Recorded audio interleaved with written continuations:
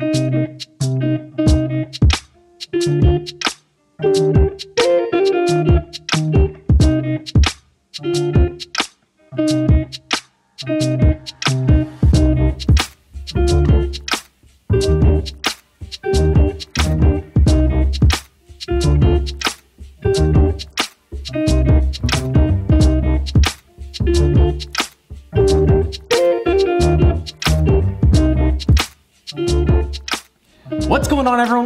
to another video. So today I'm gonna do a full day of eating while on a bulk, really uh, muscle building program because a bulk, I'm not really going too crazy as far as body fat. I try to do what you call a lean bulk. So I'm not eating a crazy amount of calories to gain unwanted fat. So of course, have to start off with breakfast. I got some protein pancakes here. Now the pancakes I've been having for, I would say around six to eight months right now. Found these at the grocery store and I've been addicted to them ever since. These are called Kodiak cakes. Two servings is what I eat every single morning and it is 28 grams of protein and 400 uh, calories per two servings. Now I also add for added protein, this Greek yogurt per serving, this is 17 grams of protein. This stuff is incredible because I use it all the time just to get in some extra protein. So this whole entire meal right here has right at 45 grams of protein, carbs is 69, fat is six, and it's 510 calories. And then of course have a black coffee. So I'm gonna enjoy this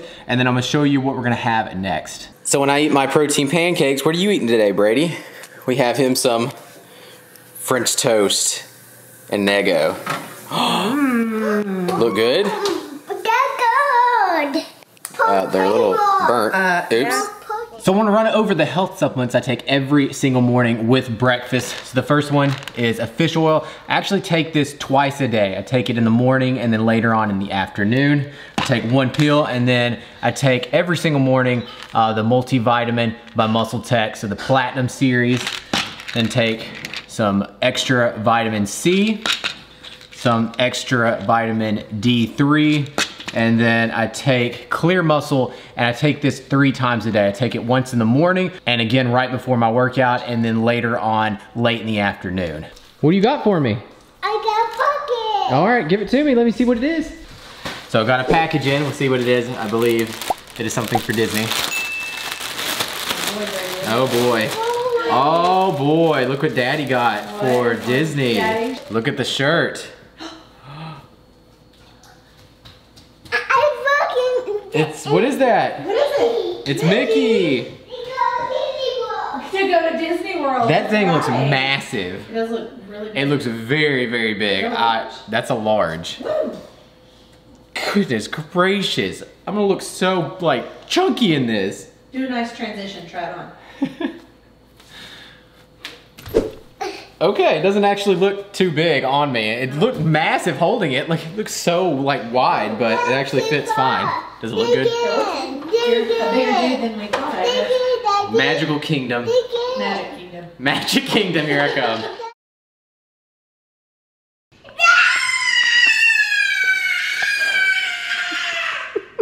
this is what uh,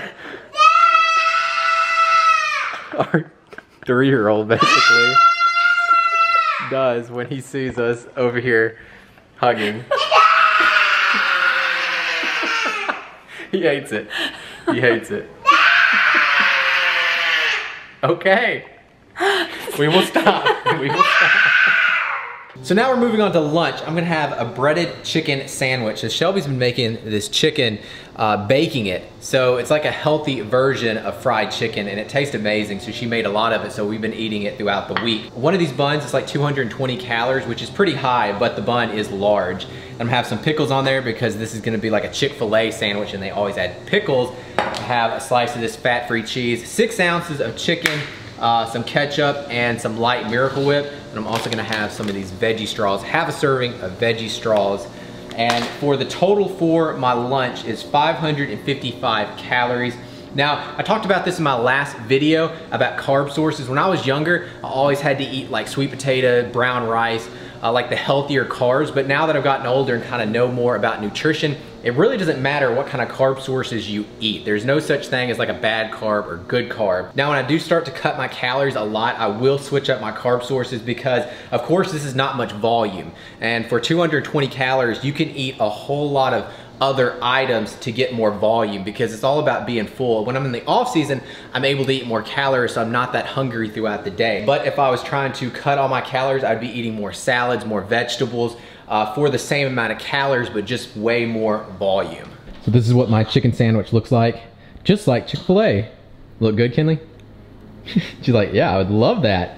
I would love just looking at it.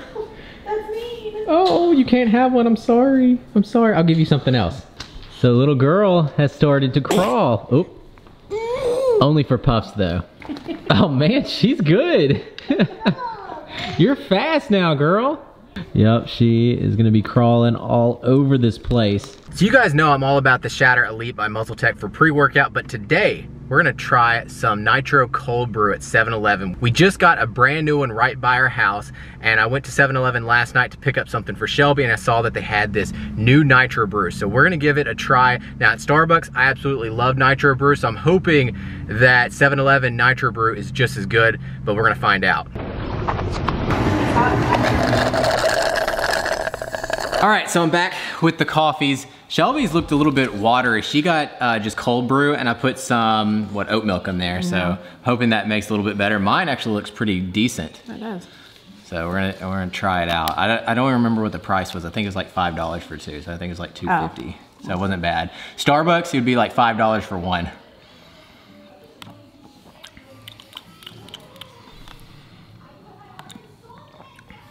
Mine's good.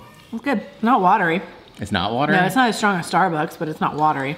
Like I wouldn't call it strong. Let me try yours. I'm not sure. Because yours just looked like water coming out for a second. No, it doesn't taste watery. It just doesn't taste strong. Yeah, I don't like yours at all. You don't?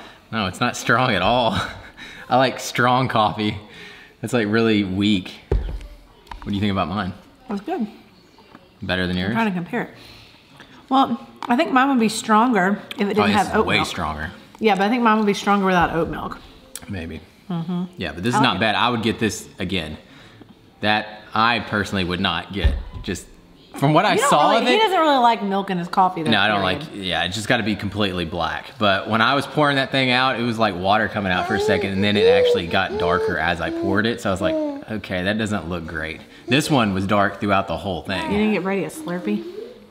It doesn't need no Slurpee. So don't mind the Cocomelon playing in the background. So since I'm having the coffee, this is gonna be plenty of caffeine. I'm just gonna have a scoop of this Shatter pre-workout pump. This is a non-stim pre-workout by MuscleTech. One of the best ones in my opinion. It's gonna help with the pump and it's also gonna help with endurance throughout my workout. So today is gonna be, it's an odd workout day. Today's gonna be hamstrings, triceps, and delts. Yesterday was quads and biceps. So it's gonna be like the second leg day in a row. But yesterday I only focused on quads and today I'm just gonna focus on hamstrings. So we're gonna be grilling out later on today some hamburgers and have some french fries. So that's where the majority of my calories will go. And that's great because it is gonna be post workout and that's when I like to have the most calories anyway. What's going on everyone? Welcome back to another workout. So if I sound different throughout this commentary, it's because I have a cold. I've had a cold for the past couple of days. Really does suck. Now I did get COVID test done and I don't have a fever, so it is not COVID. So let's go ahead and jump straight into this workout. So the very first exercise is single leg lying leg curls. I did four sets of 10 reps on every single set. After I got done with the 10 reps, I would do 10 partial reps. After that, went into stiff leg dumbbell deadlifts. I did four sets of 15 reps. On the last set, did a double drop set. After that, went into glute ham raises. I did four sets of around 15 to 20 reps. Now, I was going to go up heavier on this machine to do uh, the glute ham raises, but for whatever reason, this machine does not hold very many weights. Like the weights just completely fall off of this thing when I do this. I don't have any kind of clips that fit this actual machine. So anytime I go up more than like two plates on here, the plates will just fall off of this thing. So it is a pain in the butt to use this machine for more than uh, two plates on each side. After that, went into uh, shoulders. I did seated dumbbell lateral raises. I did four sets of around eight to 10 reps. Superset with band side raises standing. I did four sets, 15 reps. On every single set, I did 10 partials after getting done with those 15 reps. So the reason for supersetting both of these exercises back to back is to go really heavy on the dumbbells for those 8 to 10 reps and then supersetting with the bands for those 15 reps so you go lighter so that you're able to get more volume in and fatigue that muscle even more.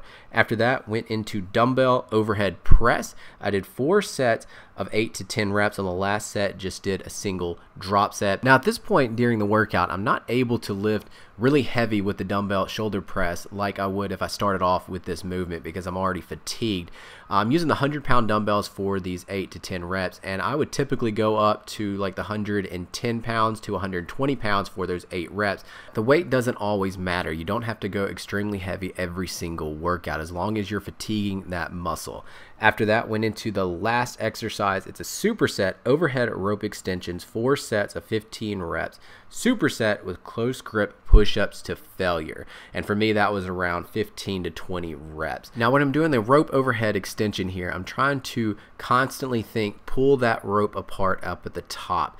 And when I couldn't pull that rope out at the top anymore, I would do a few more reps with the rope together. Uh, just so that I could go for a couple of more reps. And with the push-ups, I'm trying to keep my elbows to the side of my body as much as possible through this movement. Try to keep tension in the triceps throughout the whole range of movement so that it's really just focusing on that tricep and not my chest. But guys, that's the end of the workout. I hope you enjoyed it. If you want to give this workout a try, it'll be written down in the description box. Thank you so much for watching and I hope you enjoy the rest of the video. So just made it home. I'm a little behind on taking my products because I like to take them right after my workout, but I had to run to the grocery store because we were out of light Miracle Whip and I have to have that for burgers tonight.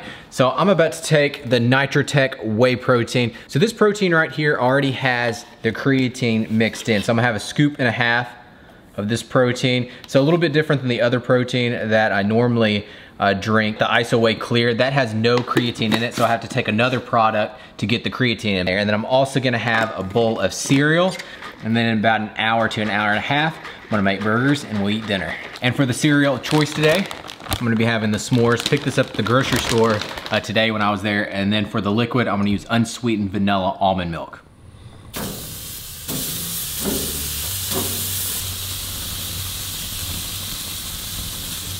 All right, so now we're grilling the burgers outside. I'm not sure how these burgers are gonna turn out because this was frozen meat and I've never uh, tried to cook burgers with frozen meat. So we defrosted it in the microwave. There's like so much liquid in there, I could not form them up correctly. So I'm thinking they're just gonna fall apart. I'm hoping not, but we're gonna see.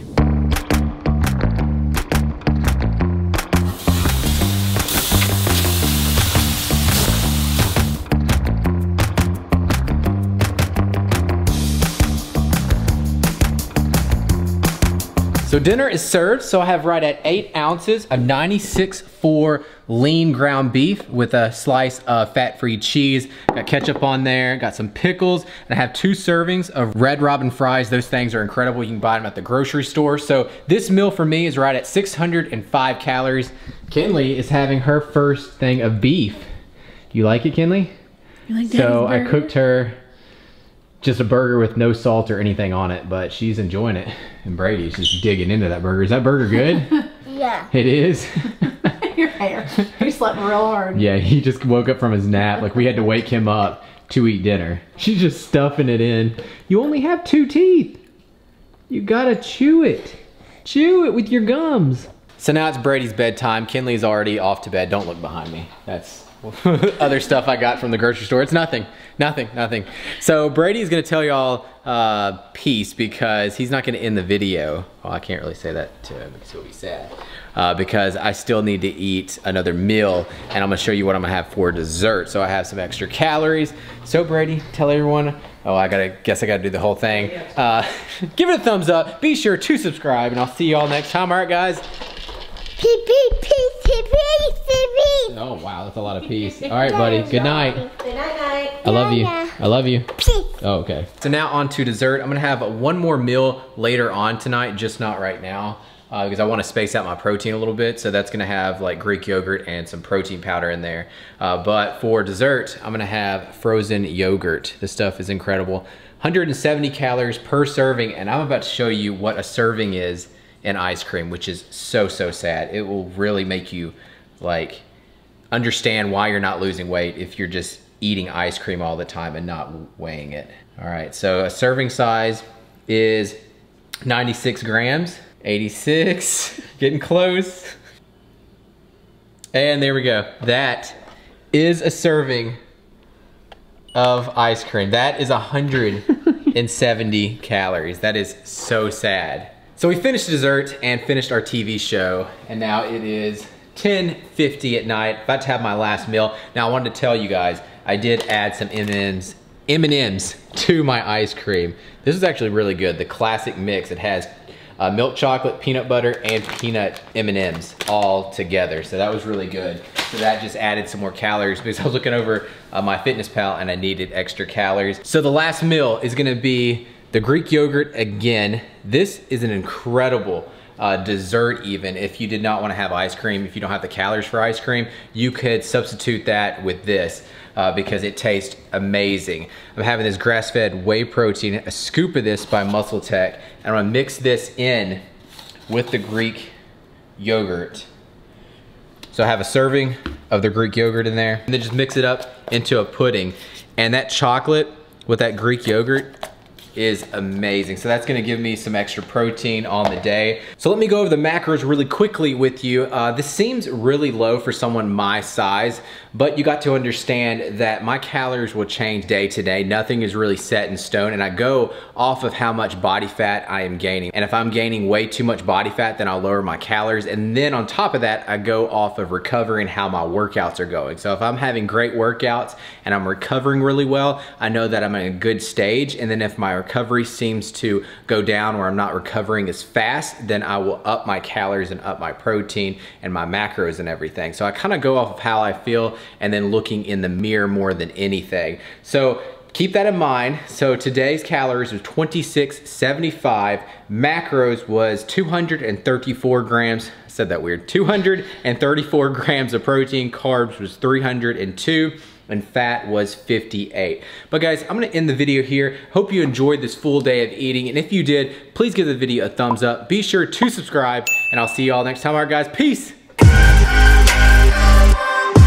I'm gonna look so like chunky in this. Do a nice transition, try it on.